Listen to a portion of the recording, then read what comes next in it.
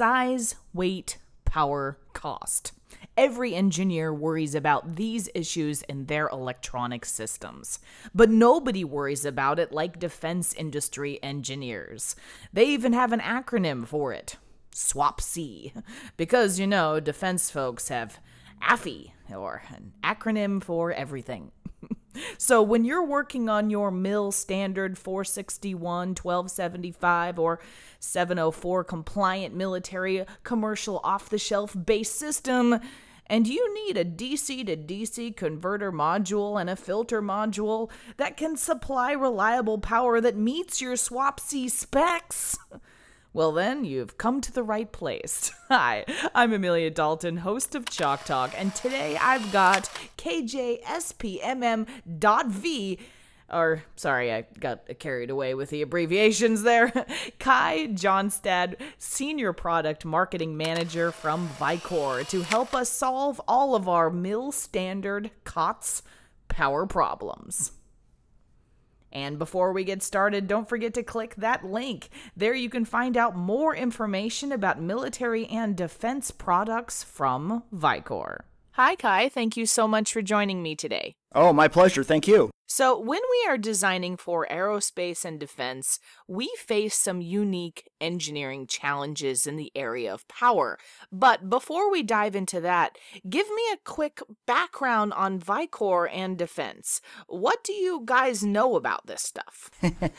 well, the Vicor has been in the defense and aerospace market for quite some time. Actually, it's been the better part of three decades. And one of the things that we pride ourselves on are keeping pace with the increasing demands for power supply needs in the defense marketplace, being smaller, lighter, and more power dense products. In addition to that, one of the major components for power supplies in the defense and aerospace market is that we are designed and manufactured in the United States. All of our products are produced here in Andover, Massachusetts. Defense and aerospace products and applications are a very significant portion of our business, and we provide very good technical support, among other things, to our customers, and we provide solutions for our customers. Okay, so you guys obviously know what you're talking about when supplying to this market. Let's look specifically at your power related products. Uh, give me a quick overview. Well, Vicor, we produce a wide range of power supply products for the defense marketplace, whether it's AC to DC, DC to DC, filters, configurable products, configurable being multiple output power supplies. Our products provide best in class power density, which yields thermal and electrical benefits to our customer base, with uh, stringent SWAP C requirements. Now, SWAP C is a term that's used extensively in the defense marketplace and refers to size, weight, power, and cost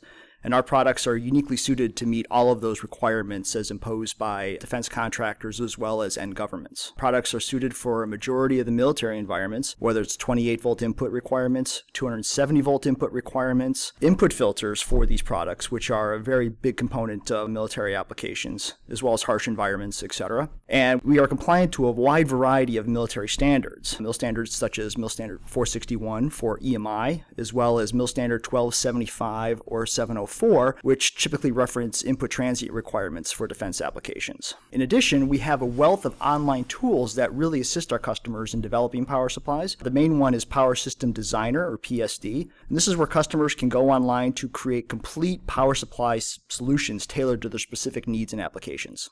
Okay, Kai, so what do you have in new power supply solutions? I hear you guys have just released something uh, exciting in this realm. Yes, and I'll be getting to that a little bit more in a minute, but just to kind of give you a high level overview, it's the VIA DCM plus the MFM filter. Essentially, we're trying to simplify designs by providing customers a better brick. And what this new product does is provides brick like modularity, make it easy for customers to use, and it provides two and a half times the power density by volume and over three times the power density by weight than the next best competitive solution. It has more advanced integrated features, it's more thermally depth, which makes it easier for customers to be able to cool the product, and it purports Vicor's power component design methodology.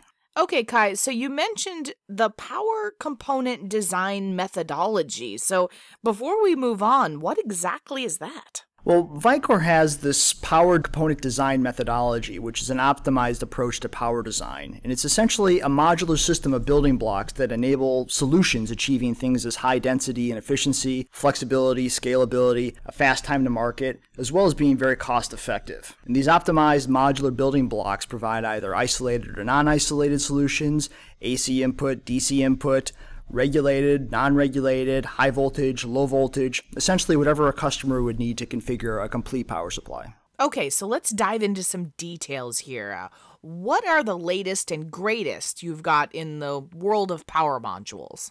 Well, the newest DC to DC solution that we have are the M-grade DCM VIA modules. These products are tailored for the defense marketplace by providing a minus 55 to 100 degrees C temperature operation, which is critical for defense applications. We have two primary families in this product line, the 3714, which for defense markets are 270 volt input modules with 24 and 28 volt outputs. The 5 and the 12 volt outputs will be coming soon. In the 3414 family, we have have the 28 volt input modules, and we have 12, 24, and 28 volt outputs currently released, with the 5, 15, and 48 volt outputs coming soon. As you can see on this chart, we actually have a matrix of all the VIA DCM products that we currently offer. And the products listed in blue are the initial products that we'll be offering for M-grade applications, which again provide minus 55 to 100 degrees C operation. The M-grade DCM VIA modules deliver fully isolated, tightly regulated outputs up to 500 watts of output power. And these products also have integrated EMI filtering, as well as secondary reference control interface and flexible thermal interfaces. Okay, and you've also got some new options in filters, is that right? That's correct. Typically, for most defense applications, customers not only need a DC to DC conversion solution, but they also need a filter module to be able to filter for things such as EMI, electromagnetic interference, as well as input transients, which can occur in a variety of systems. We have two new versions available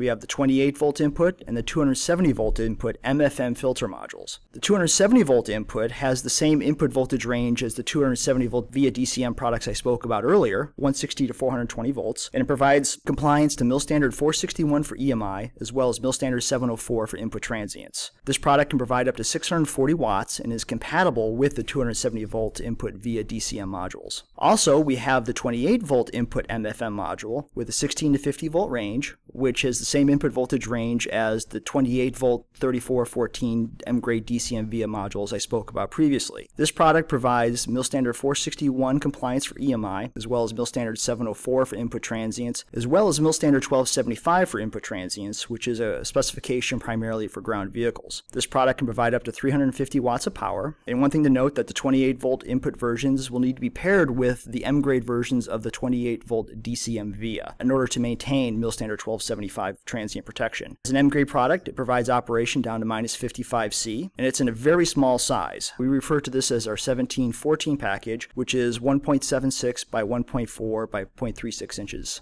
Okay, Kai, so what if I have different packaging needs? Do you have other form factors available? Yes, I've been speaking primarily about the DCM in a VIA package, but we also have the DCM in a chip package. These are isolated, regulated DC to DC converters in a package we refer to as converter housed in package or chip power component platform. It's a much smaller platform, doesn't have quite the same feature set as the DCM VIAs, but it is an extremely power dense DC to DC conversion solution. For the defense applications, we have three primary input voltage ranges of 28, 30, and 270 volt nominal inputs inputs. We also have a variety of other inputs as well 24, 48, 275, 290, and 300 volt inputs. These input voltage ranges are primarily for other applications, but they do occasionally find homes in defense applications. We have output voltages ranging from 3.3 to 48 volts, all regulated and isolated. And one thing to keep in mind is that only the M grade versions can operate down to minus 55 degrees C. We have two package sizes. We have the 4623 chip, which measures 1.9 by 0.9 by 0.3 inches, and these chips are primarily for the higher input voltage ranges, anywhere from 120 to 420, 160 to 420, or 200 to 420. And then we have the smaller 3623 chip, which measures 1.5 by 0.9 by 0.3. And these are primarily for the lower input voltage range applications, primarily the 24, 28, 30, and 48 volt inputs. So help me out, Kai. I need a little help choosing which one is best for my application.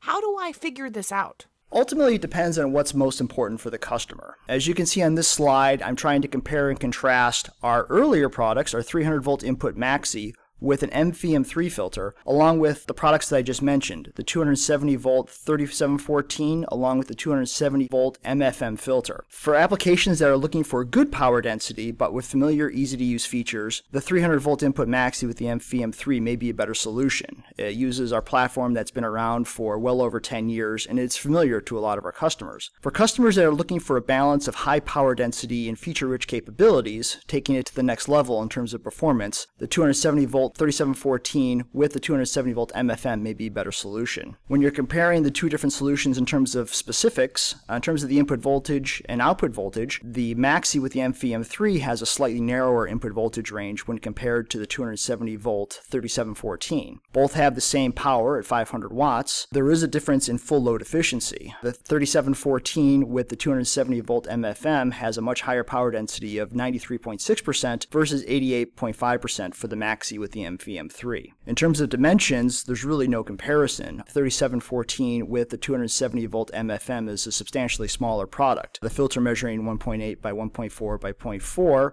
where the DC is 0.38 by 1.4 by 0.4 inches. And that compares much favorably to the Maxi with the MFM3, which the filter has dimensions of 2.3 by 2.2 by 0.5, the traditional half brick format, and where the DC to DC converter has a larger 4.6 by 2.2 by 0.5 inches, which is the traditional full brick. And this corresponds to a big disparity in terms of power density. 3714 with the 270 volt MFM has a power density of 159 watts per cubic inch versus 66 watts per cubic inch for the Maxi with the MFM3, while both products meet approximately the same mil standards in terms of mil standard 461 and mil standard 704 for input transients. Okay, so it looks like it depends on if I need the absolute power density or if I'm balancing other factors. That's correct. We do have a solution available, the 4623, in a chip platform, which provides customers the maximum power density and the lightest weight. So this product could be more suitable for those types of applications. For customers who want more of a balance of power density as well as more brick-like features, the 270 volt input 3714 with the 270 volt MFM may be a better solution. Both products provide the same input voltage range of 160 to 420 volts, same output voltage in this case at 28 same power level of 500 watts, as well as efficiency at 93.6%. The difference being that the 3714 with the 270 volt MFM has an integrated filter in the DCM as well as the external MFM filter, whereas in the 4623 does not have a prepackaged filter offered by Vicor, although we do provide guidance and assistance in customers creating their own filter. Now, the 4623, being just a essentially a raw DC to DC conversion engine, has an extremely high power density of 1032 watts per cubic inch, which when compared to the 3714 DCM has a smaller 250 watts per cubic inch. And when integrated with the filter, the power density is a slightly lower 159 watts per cubic inch. The 3714 with the MFM does meet mil standard 461 and mil standard 704 for EMI and transients respectively, whereas the 4623 does not unless the customer adds an external filter, which again Vicor can provide guidance in creating. In terms of thermal management, the 4623 does require external heat sinking to be applied to the product, whereas the 3714 does have an integrated heat sink built into the product. So everyone cares about swap C, but different applications have different emphasis on size, weight, power, and so forth. How does my application drive my requirements in power? Well, all applications are a little bit different. So, solving the unique power challenges of swap C, which I referred to earlier as size, weight, power, and cost, are a little bit different depending on the application in the defense space. On this slide, I reference four different applications. The first one being an airborne equipment challenge, for in this particular case, a scalable modular DCM based design that enabled a high powered regulated output. And a unique aspect of this application was the requirement to drive 200 millifarads of bulk capacitance. And this is something that we were able to uh, accomplish with DCMs as well as a BCM or bus converter module that's a product also offered by Vicor. In the upper right, there's an application for a UAV. And the challenge for this application was to be able to provide a very power dense, high input voltage solution that would enable power to be transmitted over a 25 to 30 meter tether to the UAV itself. And also being a UAV, weight was of the utmost concern. Lighter weight meant more payload for this particular application. In the lower left was an application for an avionic computer, and the enabling factor for this particular application was that we had a variety of low profile components, less than 8 millimeters, as well as a high temperature requirement, to operation up to 125 degrees C. And then finally, in the lower right was an application for communication equipment. In this case, the DCM's fixed switching frequency of 750 kilohertz enabled the customer to be able to create a compact EMI filter to meet stringent conducted noise specifications. I think I'm ready to get started. Where should I go for more information? Well, on this slide, you can see a variety of resources that we have available. Most of these, or all of these, can be found on the Vicor website. We have the VIA DCM product family page where customers can go and find a wealth of information regarding the DCM product line. We also have a web page on our website to allow customers to get information about the MFM filter modules that I spoke about. Also on the website, we have a wide variety of application examples, including the four I just mentioned the airborne equipment challenges, UAV challenges, avionic computer challenges, as well as communication equipment challenges, as well as other case studies available online so customers can take a look and get some more information into exactly how we solve those particular requirements. We have a defense and aerospace market landing page and then finally, the Power System Designer that I spoke about earlier in the presentation, which is an online solution that allows customers to go through and configure tailored solutions to their specific needs and be able to do things such as simulations. Excellent. Well, I think that's all I have time for today. Thank you so much for joining me, Kai. My pleasure. Thank you very much for taking the time. Before we go, you didn't forget to click that link, did you? There you can find out even more information about this broadcast from Vicor. For Chalk Talks, I'm Amelia Dalton from eejournal.com. For more Chalk Talks, check out the Chalk Talks section of eejournal.com or head on over to YouTube, keyword EE Journal.